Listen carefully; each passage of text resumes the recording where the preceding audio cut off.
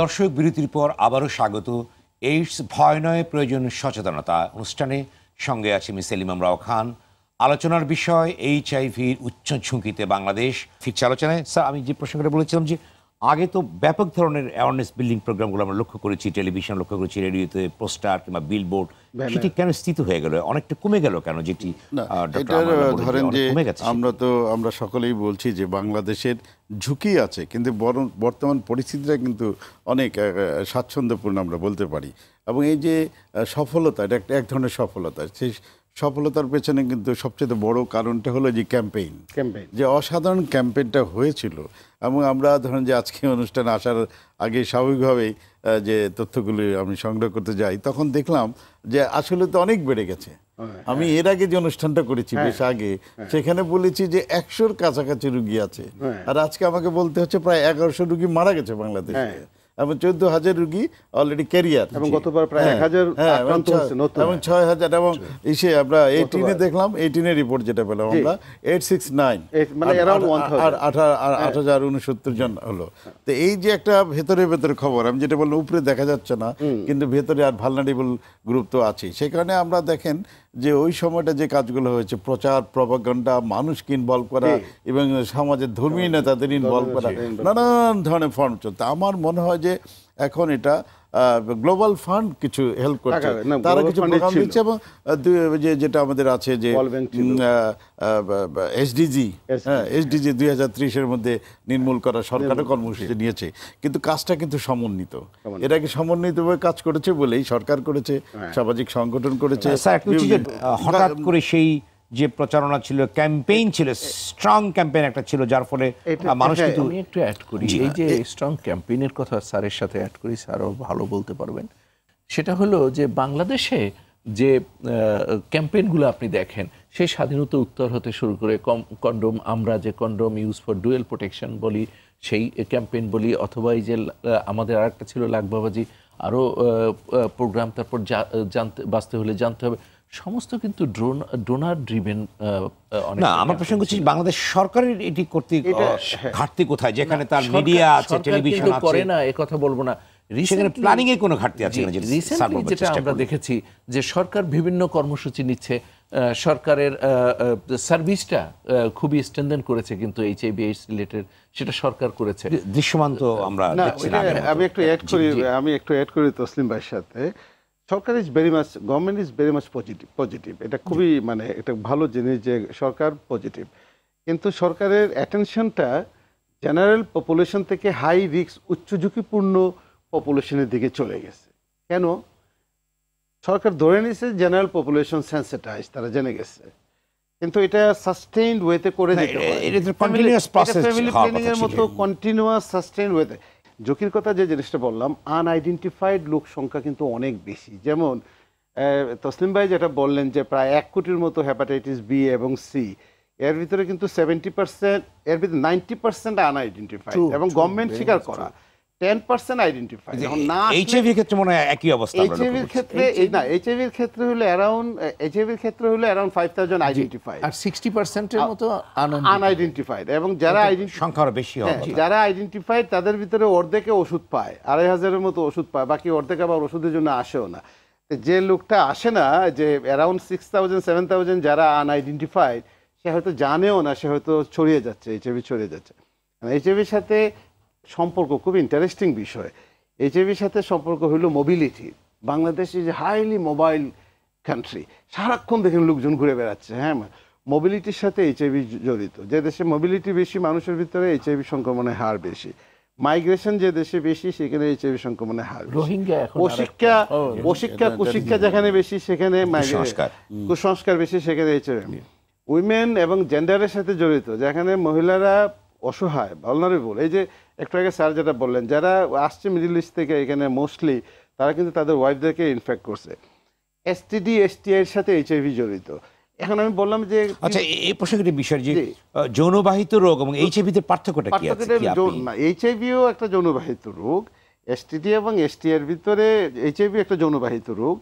কিন্তু মুশকিল হলো যে অন্যান্য যৌনবাহিত রোগগুলাকে আমরা যেভাবে আইডেন্টিফাই করি অন্যান্য যৌনবাহিত রোগগুলা যেগুলো কন্ট্রোলেবল ওষুধ খেলে সেরে যায় সিভিলিস বলেন গনোরিয়া বলেন স্যার আছেন হ্যাপাটাইটিস বি বলেন হ্যাপাটাইটিস সি বলেন হ্যাপাটাইটিস সির কোনো ভ্যাকসিন নাই কিন্তু ওষুধ ওষুধ ছিল না আগে ওষুধ বের হয়ে গেছে এবং সেই ওষুধ খেলে hepatitis C is not a big problem এখন। সারা ওয়ার্ল্ডেই এটা এবং বাংলাদেশে সস্তায় ওষুধ পাওয়া যাচ্ছে বিদেশে অনেক দাম কিন্তু বাংলাদেশে সস্তা হ্যাপাটাইটিস সি ওষুধ বানাচ্ছে।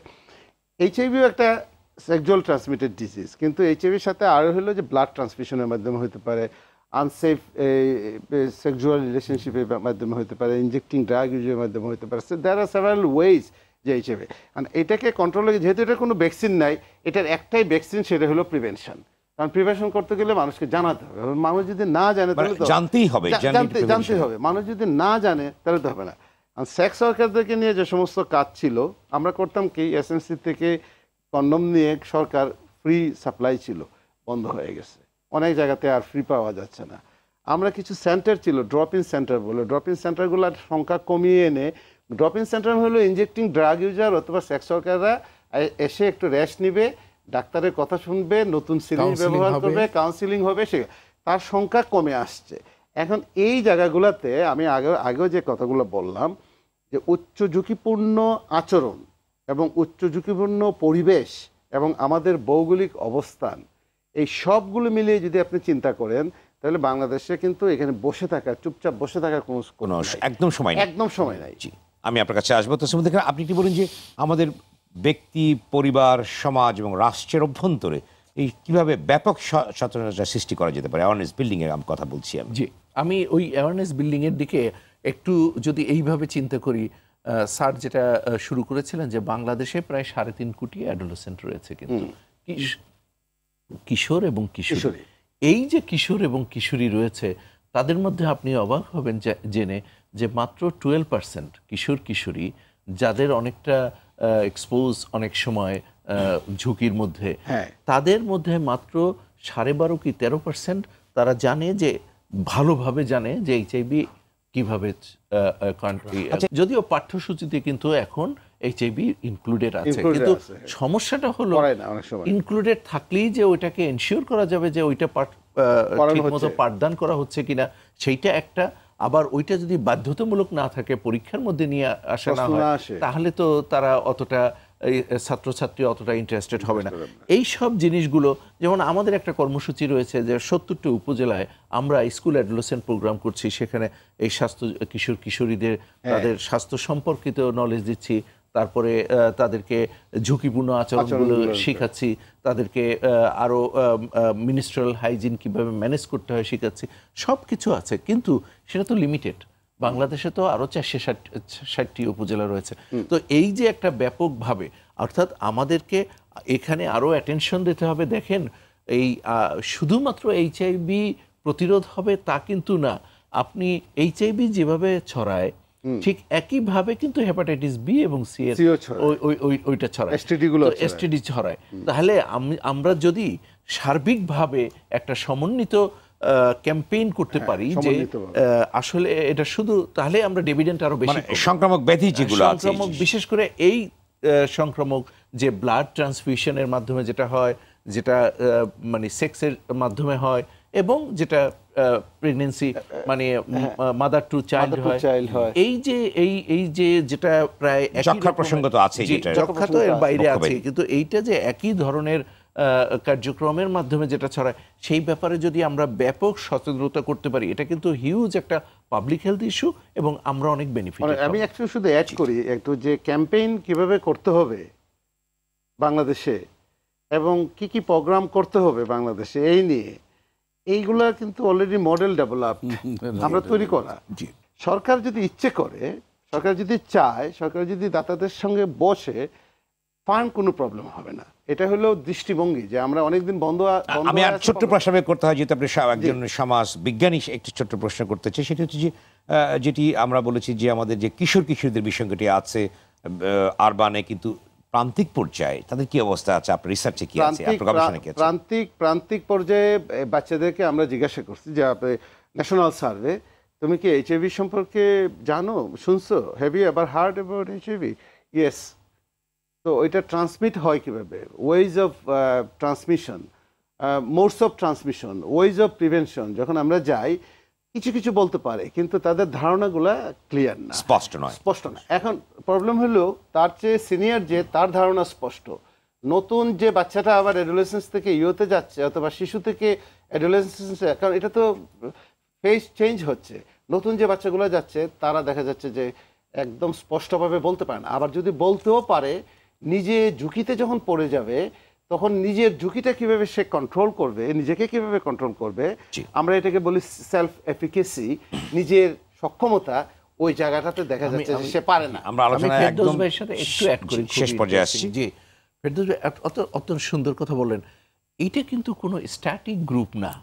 কন্টিনিউয়াসলি সিক্স থেকে স্টুডেন্ট সেভেনে উঠছে সেভেন থেকে এইটে। উঠছে আবার ফাইভ থেকে আস্তে আস্তে সিক্স সেভেনে অর্থাৎ অ্যাডোলেসেন্ট যে গ্রুপটা new adolescent is adding continuously এই যে নতুন করে যারা আসতেছে তারা যদি ক্যাম্পেইনের আওতায় না থাকে তারা কিন্তু মানে একটা কন্টিনিউয়াস একটা ক্যাম্পেইন আওতায় থাকতে থাকতে কারণ কি এটা একটা সেনসিটিভ ইস্যু এই আমাদের সমাজটা এখনও অতটা খোলামেলা হয় নাই যে তার বড় ভাই তাকে এ ব্যাপারে শিক্ষা দেবে। এই- এই যে স্বাস্থ্য যার ফলে তারা স্বাস্থ্য ঝুঁকিতে কিন্তু থেকে যাচ্ছে তাদের নলেজ গ্যাপ হয়ে যাচ্ছে। তো আমরা যদি একটা জাতীয় পর্যায়ে ক্যাম্পেইন কন্টিনিউ করতে পারি তাহলে একটা কোহর্ট যে নতুন আসতেছে তারা। মানে তার বিকল্প নেই। আমাদের আলোচনা শেষ পর্যায়ে আসি।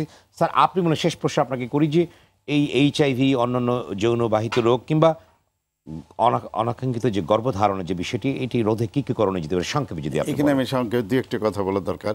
এইচআইভি যখন ইনফেক্টেড হয় এটাকে এইডস বলে এবং এর মূল জিনিসটা হচ্ছে গিয়ে যে তার রোগ প্রতিরোধ ক্ষমতাটা নষ্ট হয়ে যায়। এবং সে কারণেই কিন্তু দেখবেন এইচআইভি রোগীর মধ্যে কিন্তু প্রচুর টিউবারক্লোসিস আছে যক্ষা রোগী আছে এবং অন্যান্য রোগগুলো হয়। সে কারণে আমার কাছে যেটা মনে হয় মানে একজনের ভিতরে নানা রোগ হ্যাঁ, ঢুকে যাচ্ছে হ্যাঁ, যেহেতু তার টিভি দেখা যায়। দেখবেন যক্ষা অনেক বেশি হয় এইচআইভি রোগীদের ক্ষেত্রে সেক্ষেত্রে আমার মনে হয় যে আমরা যদি এই সমস্ত আলোচনাটা ইনফারেন্স টানি তাহলে বিষয়টা হলো যে সরকার কিন্তু সার্ভিসটা বাড়াচ্ছে।